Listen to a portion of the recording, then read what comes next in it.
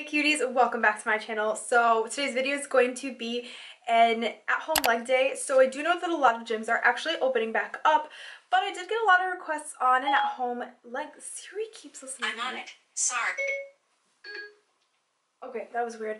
But um, I do keep getting requests on an at-home leg day, and I figured, you know, there's always going to be someone that's at home that wants a leg workout, so I might as well post it.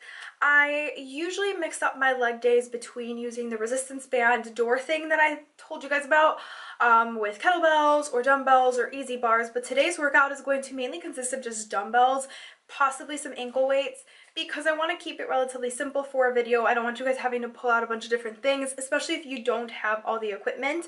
I do one day want to do a resistance band workout, but I just feel like less people have the exact thing that I have for my door, and so it's kind of pointless to put it out first, you know, since I haven't put out many workout videos yet. If you have any suggestions as to how I should go about my workouts next time, um, or if you'd prefer me doing like a full workout on here, let me know and I will definitely take it into consideration. But for now, I just feel like this is probably more efficient as I don't think you want to be looking at me for 30 minutes just working out, you know?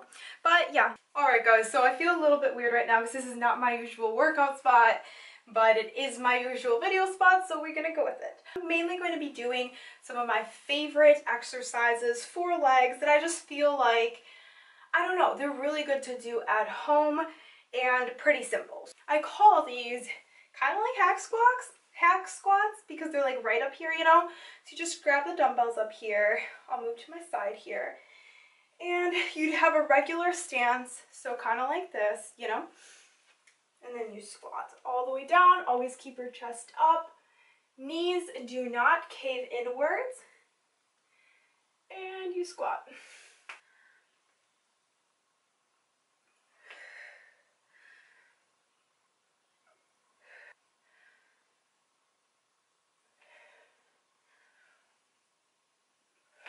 Alright guys, so the next one we're going to be doing, I feel these so nicely on my glutes and my hamstrings. They do also target the lower back a little bit, but you should not be feeling pain down there. You should be just feeling sore. If you're feeling discomfort, you definitely have to watch your form, fix yourself, lower the weight a little bit. I had to lower the weight significantly for quite some time just to start getting used to the whole form. I usually like to go a little bit higher in weight, but I don't want to be switching it around for this video, so we're going to leave it like this. I kind of stand just like shoulder width apart for these. You can kind of feel out what feels better for you. I think everybody is different and as long as you're not doing something completely stupid for your body, um, you know, sometimes you have to tweak things a bit to work for, for them to work for you. Bend your knees like this. You're gonna go down and back up. Now with deadlifts, you can always go all the way back up. That's the usual form. But I personally have noticed that, and I know I'm doing a lot of talking here, but I want to kind of guide you guys through this. Um, I have found that I feel it a lot more on my lower body if I kind of just end right up here instead of going all the way up. There's nothing wrong with going all the way up. I do those as well. But for this video, I'm just going to be showing you how I do these almost like half rep. I guess they'd be like half reps. Um, I just wanted to make that clear in case someone thinks I just don't know the proper deadlift form. I am very well aware of that. So we're gonna go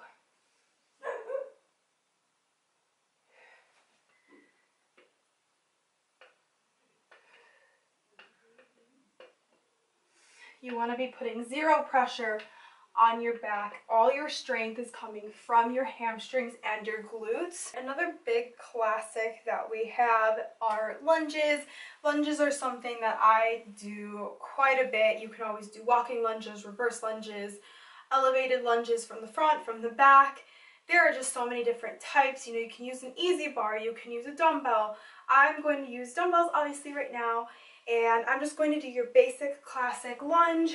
I hate lunges very much, but they are super good for you, and I find really good results when I do lunges, so that is what I will be doing. Um, since we're targeting the glutes and hamstrings right now, we're going to make sure we're going wide enough when you're trying to do more of a quad focused workout. You can go a little closer to your leg so as to put more pressure on the front of your leg is um, instead of the back. And just do a few of these for you. You always want to make sure your back is kept straight, your chest is kind of just opened up. I feel like making sure that my chest is open always helps keep my form in general just nice and steady. Something really important to remember when you're doing these, and honestly when you're doing any exercise for that matter, is to really use that mind muscle connection on whatever muscle you're trying to target. So right now I was really thinking about my glutes, squeezing them, making sure that they are the ones pushing me up and pulling me back down. Same with my hamstrings. You kind of keep your mind on both of them. You concentrate on squeezing those muscles and it makes a world of a difference. Go slower.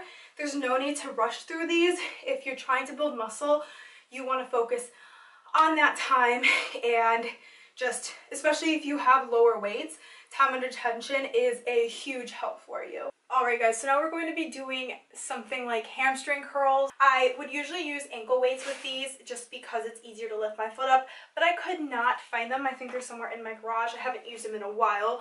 So I brought out my kettlebell and I'm pretty much just going to put my foot on the inside of this and lift it up. You guys can use these same if you have a kettlebell with a soft like texture on it. Like this is not going to hurt me. Or if you have ankle weights, like obviously use those and go down very slowly and then you go back up. You kind of go up until it feels best for you, honestly. Um, I've learned that usually it feels best when I kind of go halfway. When I go all the way up, you lose the tension up here. So I like to come here. Now we're going to do a few straight on just to kind of show you. Now this is a big one on mind muscle connection. I am squeezing really, really hard, mainly the hamstrings, on my way down, I want to keep it very controlled. I'm not swinging my leg around same way on the way up, but I feel like I'm actually doing more work on that way down. You know, you don't want to slam your foot back down. I feel like with certain exercises, we all have a certain sweet spot and you kind of have to figure yours out. It does take some trial and error, so don't get frustrated. Just keep at it. Like I said, it's all about time under tension with these types of exercises especially. And just making sure your form is good. Your back should not be hurting. If it does, you are probably bending too much or putting some, um, some strain on that while you're lifting up your weight. You want to remember you're doing all of the work on your hamstring right here, not necessarily your butt, not necessarily your calves, and not any other part, just your hamstrings. Okay guys, so that is actually the end of this video. I hope you found some of these helpful. If you give them a try and like them, let me know how that goes. There are different variations. You can always substitute the dumbbells for other types of weights. Like I said before, kettlebells work fine, resistance bands works fine. When you're at home, you sometimes have to get a little bit creative. You can even use household objects that have weight. But in the end, these are just some of my favorite exercises that I like to incorporate on a lot or most of my life days, even when I'm at the gym. So yeah, give me a big thumbs up if you found this helpful. Leave me any comments or suggestions for other videos down below. You can reach me at my email, which is always in the description, and Instagram as well will be up on the screen at some point. Have a great day, guys. Bye.